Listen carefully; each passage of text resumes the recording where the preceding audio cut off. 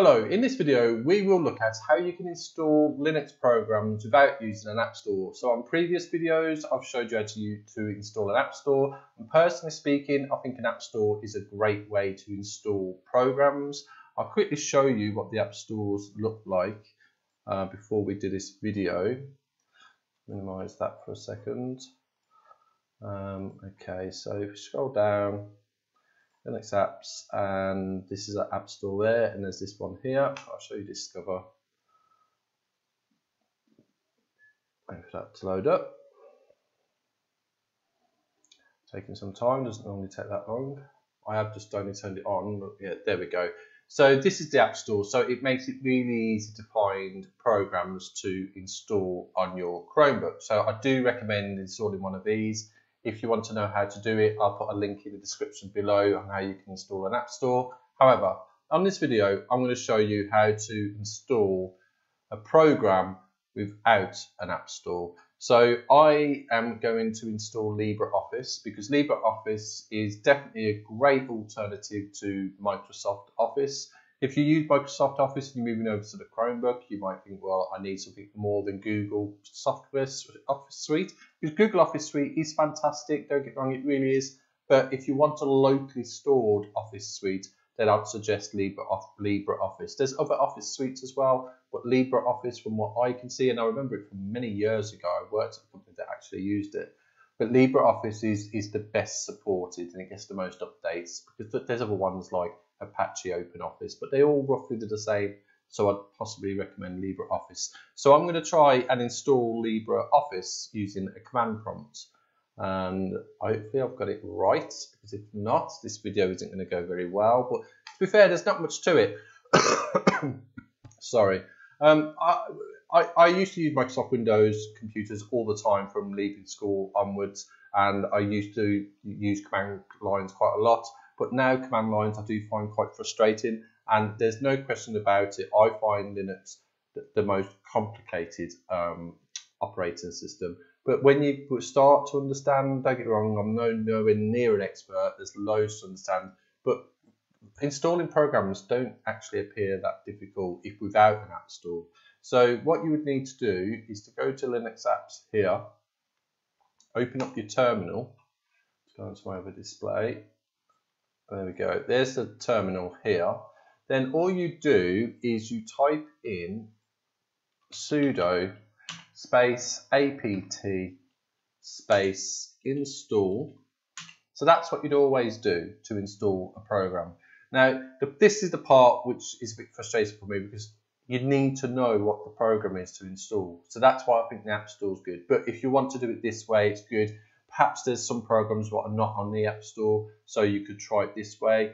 Not all programs will install this way. There's different ways to install Linux programs, which I've been looking into. So I obviously will do different videos about that in the future.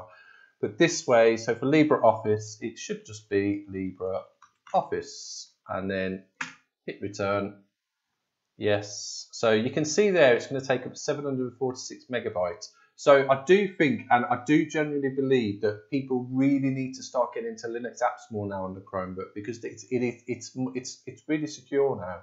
Um, and it, it just opens up so much more to the Chromebook. People used to harp on about Chromebooks are just for surfing the internet. Well, rubbish, they're not at all. Obviously, you've got Android apps, but Linux apps brings so much more power. So please try and get into them. I know if, if you do find them scary, honestly they're not. Once you start using them for a while, that it's it's not that hard to be fair, and it, it's it's really good. So here's 746 megabytes.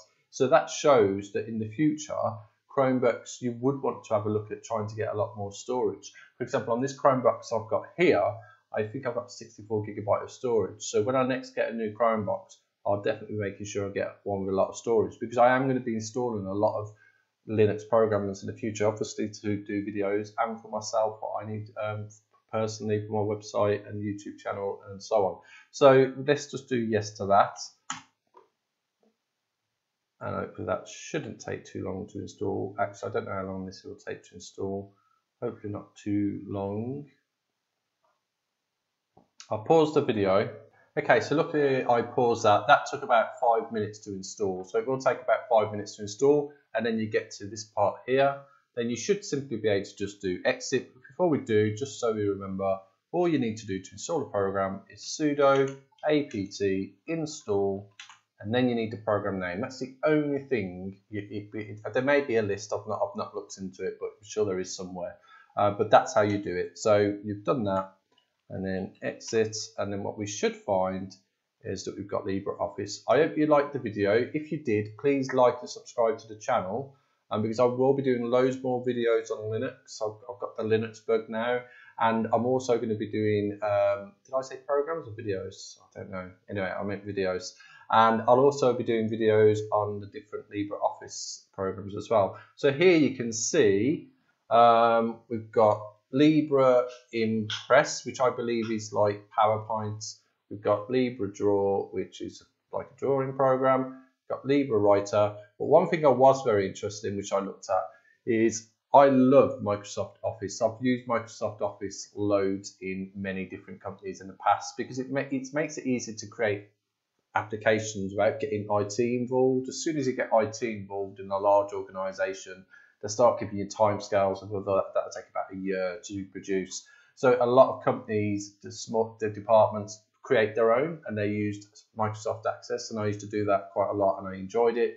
Um, obviously I don't use Microsoft products much anymore because I'm all about the Chrome OS and LibreOffice Base, which is this, is very similar to Microsoft um, Access. I've not used it yet, so I'm going to look into it and see how it works. And I'll be doing lots more videos out that. So I hope that helped. If it did, please like and subscribe to the channel for future videos. And thanks for watching. Okay, thank you. Bye.